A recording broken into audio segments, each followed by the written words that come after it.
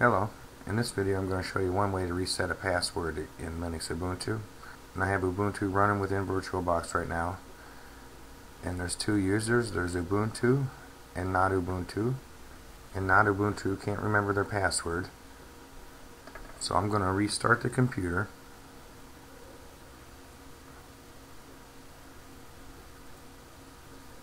When the computer begins to reboot, I'm going to press and hold the shift key and this will give me access to the advanced options. So I'm going to arrow down one and hit enter.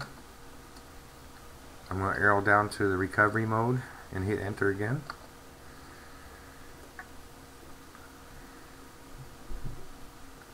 From the recovery menu I'm going to select root. And now at the bottom of the screen I have access to the command line and for the video, I'm going to expand the command line so you guys can see this better. And now in the command line, I'm going to type P-A-S-S-W-D space and then the user's name whose password I want to change. And in this case, it's not Ubuntu. I'm going to hit enter. Now it's asking me to type the new password. When you type the password, it won't show it. You just type it and hit enter.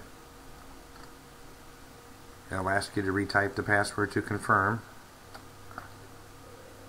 And it says the password was updated successfully.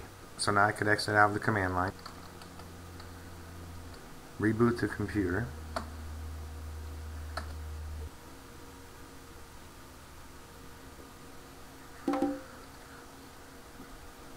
and then log in with the new password.